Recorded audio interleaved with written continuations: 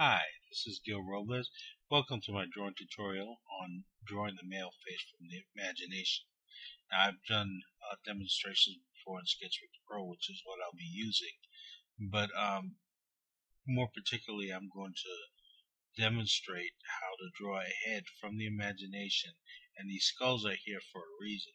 And you see underneath of the drawings, they show how closely I followed the structure of the skull. And right to start off with, I'm going to draw something that's not from my imagination. I, I have a, a, little bust that I use sometimes just to practice with. I, I, throw it under a light and so forth and get some nice shadows in there. And, and I, I just practice with this on drawing the head. And uh, but I wanted to demonstrate from here how closely I follow that structure of the skeleton.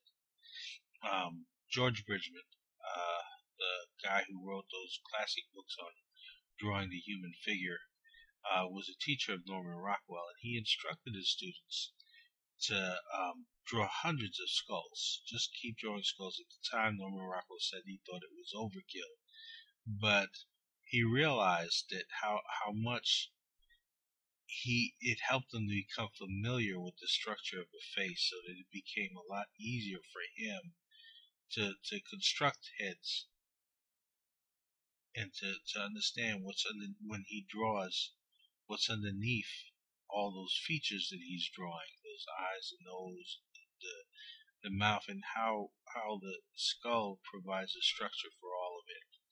So what I'm going to demonstrate is just how in fact the, the these uh, the skull you can easily find the skull right underneath this drawing because I didn't lose sight of the fact that the skull is underneath there. You know, it isn't just a, a drawing the shape of the eyes and the nose and the mouth and so forth, and, and uh, but it, it's a realization that's what's underneath all of that that helps you to to build your drawings on top of it, and it helps you to understand. As long as you understand the um, the structure underneath, uh, you can you can play around with it more and, and actually use your imagination to fill in the rest.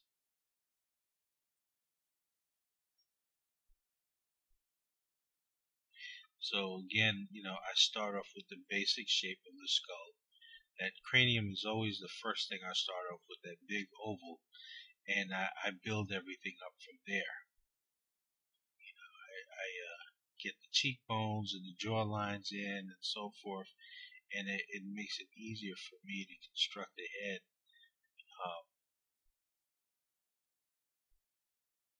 because I'm starting off with what's underneath.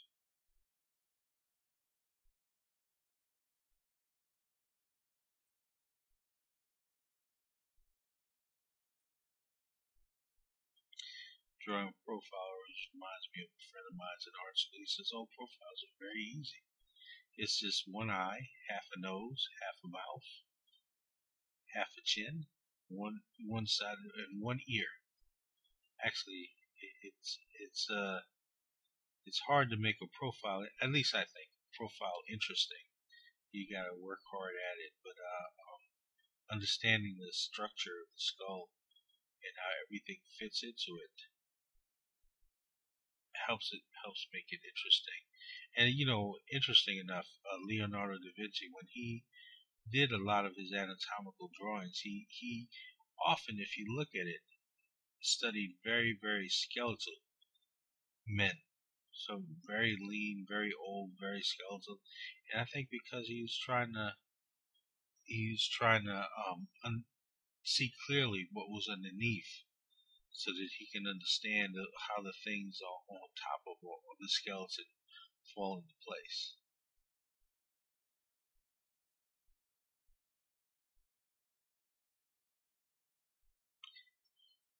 And uh, try something with a little bit of a shadow here. And um, that that's a whole other topic uh, to, to see the way light falls over things.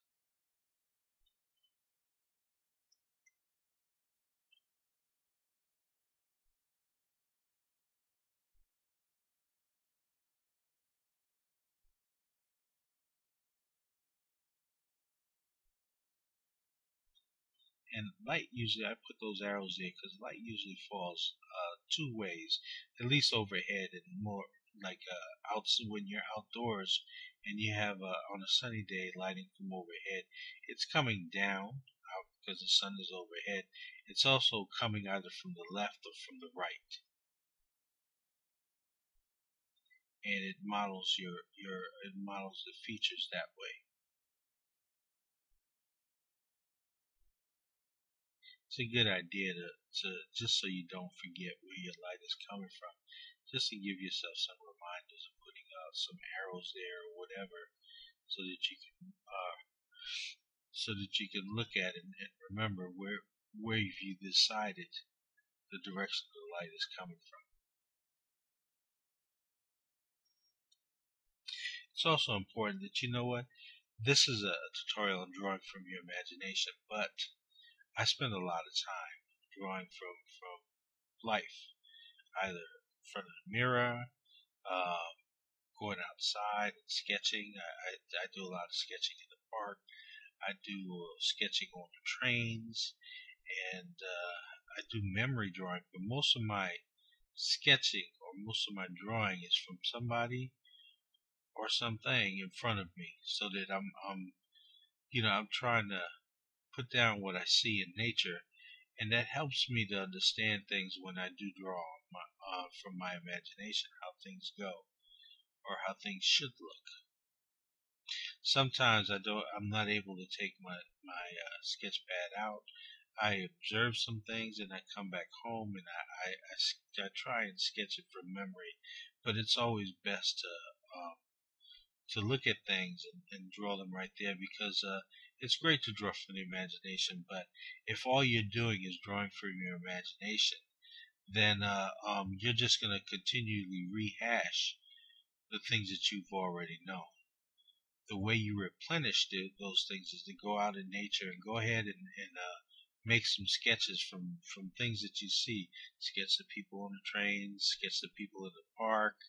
You know, I, I sometimes I do some very, very quick sketches as people are walking by and try to note things down as quickly as I can. Here's a, a little bit of a, more of a character here. I want to try and sketch a uh, Dr. Watson type of guy.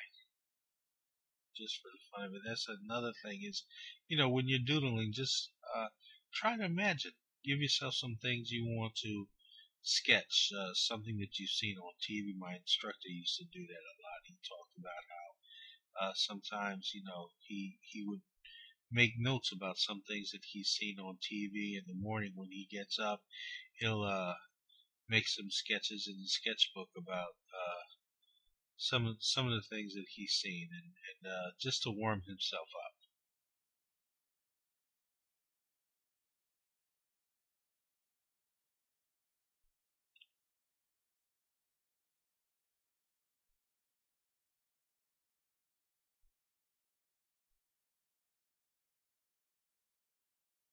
Again, you know, I in all these drawings I'm going to follow the same thing and build up almost some kind of structure underneath. It doesn't have to be the same thing all the time, but you know what I'm doing is I'm drawing uh I'm drawing based on what I know is underneath this. And there's different skull types. It doesn't have to always be the same. You know, you can vary them. Again, when you sketch in nature, when you sketch from life, it helps you to understand the different variations and shapes there are. And so when you, you know, you're more informed when you're drawing from your imagination.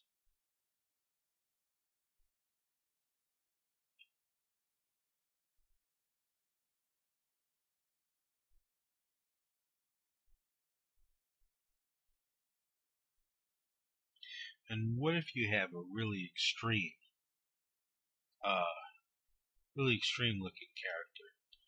Um, here again, uh, I'm not trying to do a, a, a just a, any type of skull. I try to figure out what his skull would look underneath. And I'm, here I, I gave myself a, a, a, little assignment here of drawing a, a an orc type figure, orc from Lord of the Rings or, or some such story.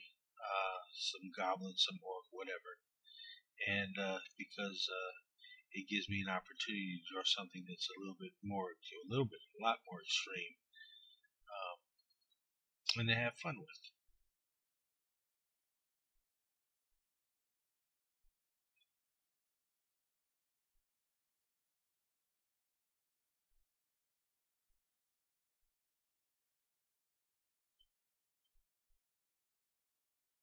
And you can easily see, uh, although his the shape of his skull is unlike a common person's shape, it's still there. It is still follows some kind of structure underneath where all his features are built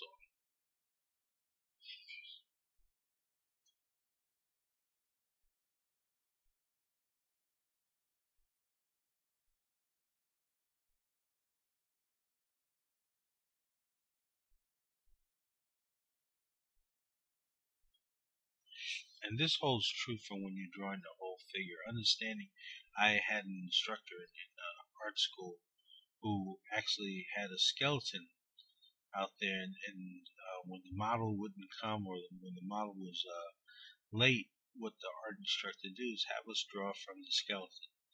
And after a while, we were drawing from the skeleton almost every morning.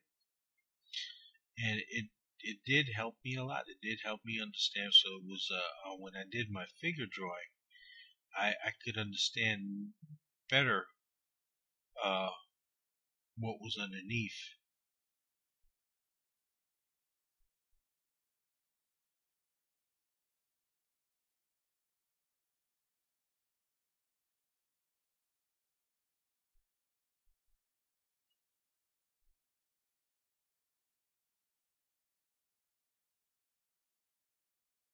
You know, it's it's important because you think that when uh, like uh, certain certain professions, uh, when uh, paleontology, when they when they want to reconstruct a dinosaur or some such thing, they reconstruct it from what they have left from the dinosaur bones, and uh, what they put together, it's mostly guesswork, but it it uh it you know, it's basically informed by what they know about anatomy and about what the bones are able to tell them.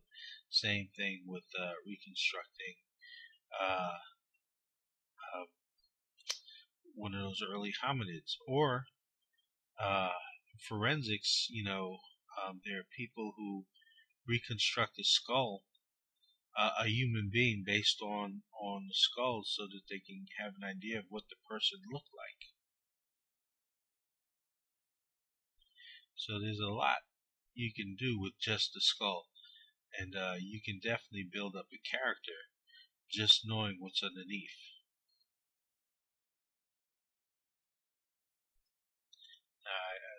Of course, every time I do a tutorial or such thing, I always remind everyone of course I can't draw this fast. I speed things up here, uh, so hopefully no one will get too bored.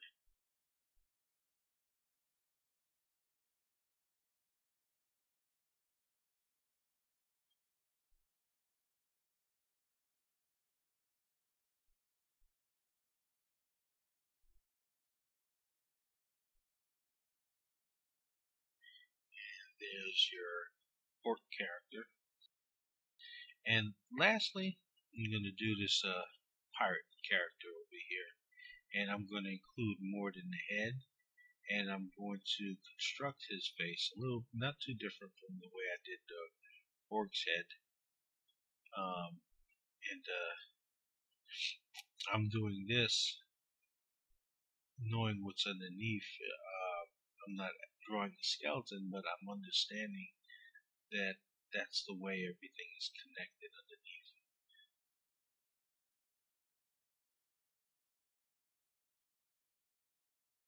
So these shapes um, represent skeleton, a skeletal uh, shape, or skeletal forms.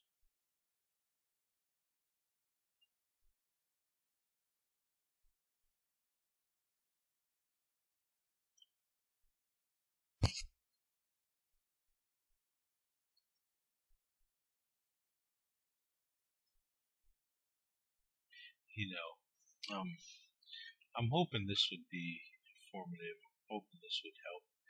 And uh, I, I see that there there there are a few viewers that comment and look at the videos I posted before. Um, and you know what? If if anyone has any questions or if anyone has any ideas of what they would like to see or any questions about uh, uh, about drawing in particular, I can see if I, I could make a a video based on that. Uh, but I would appreciate the feedback because it helps me to know uh, um, what people want to see in terms of uh, or what people are curious about. And if I have an answer, I'd, I'd love to put it up.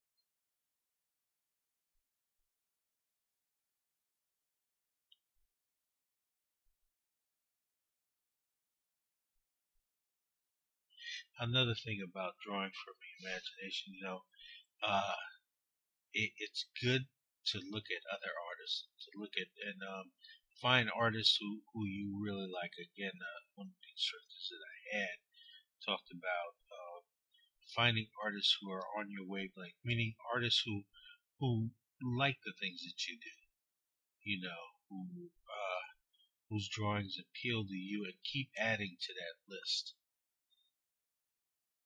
There, there are plenty of artists uh, who work for the imagination. There are fine artists as well.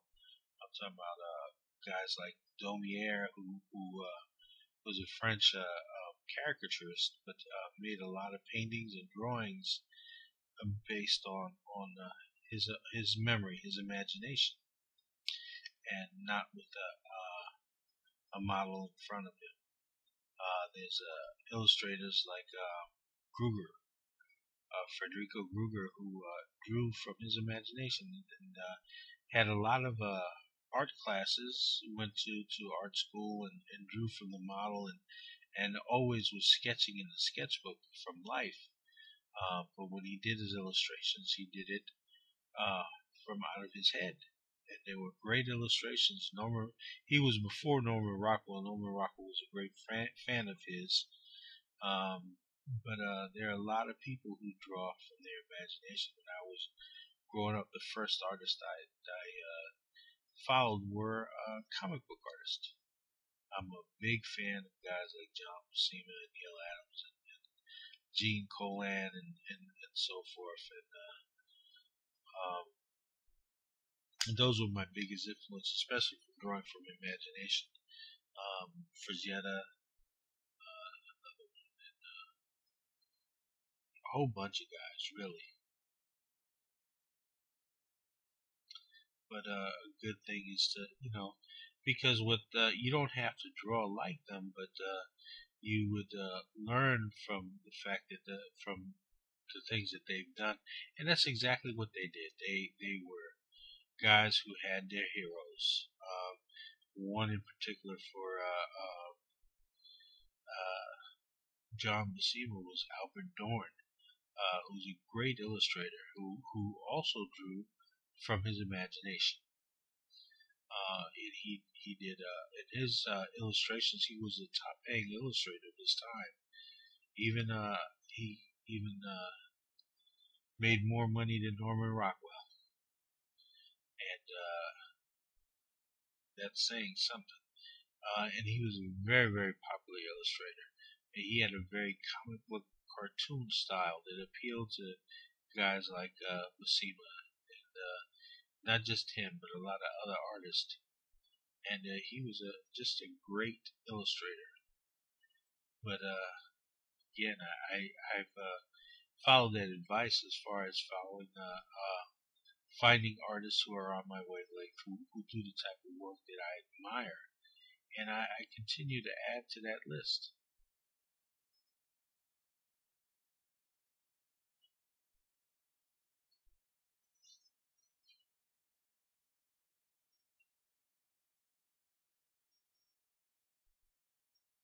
One of the things about if you're going to draw from the imagination, what I'd love to do is to draw these extreme, extreme faces. These, uh, um, it's it's just a lot of fun. It's a lot of fun to draw a pirate because a pirate doesn't have to be handsome. You can just uh, draw whatever character you, you want, and, and there it is. Unlike uh, trying to draw, um, I'm, I'm speaking mostly of illustration, where the, the hero always is some some very handsome, appealing person, or the heroine is some very beautiful, appealing. And I, I, I like drawing people, and I like drawing characters. And uh, Pirate is just a great character. I like drawing. When I met, when I said I like drawing people, I I just like to draw, like I said, a character, not not necessarily uh, the you know uh, uh, model or, or, so forth, but just uh, someone who's just fun to draw and not two dimensional.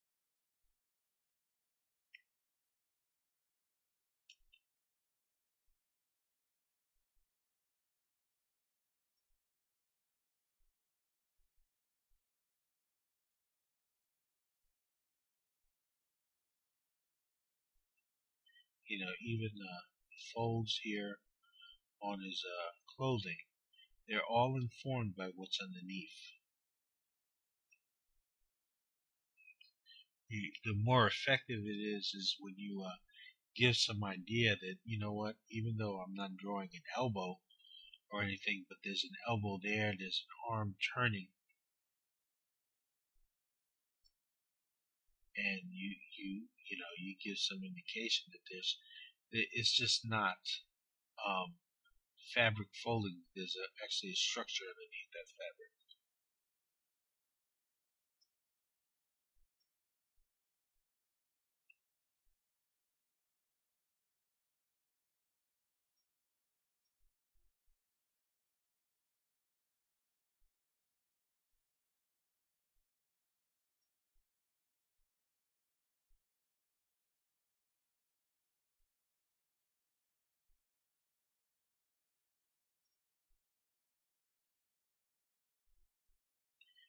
I don't know if, uh, if you noticed, but I didn't speed this one up as much as I did the other drawings in here. I, I, this one's more closer to real time, although I sped it up a little bit, but it's a little bit closer to real time.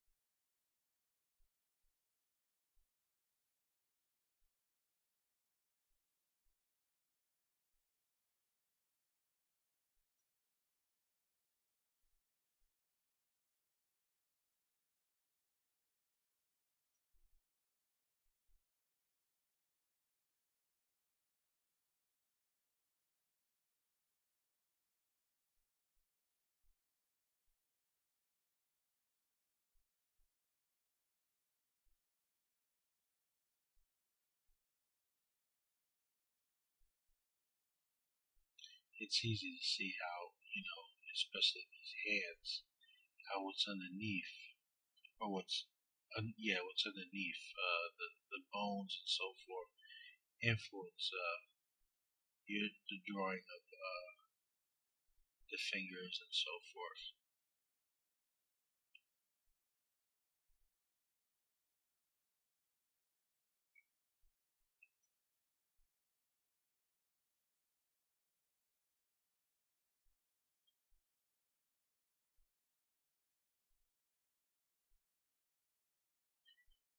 Uh, it's pretty much close to being it. This uh, part here, and I use this to uh, created an illustration. Uh, nothing that was ever published or used. I just uh, thought it was so much fun drawing this. I just carried it on to uh, more of a completed illustration.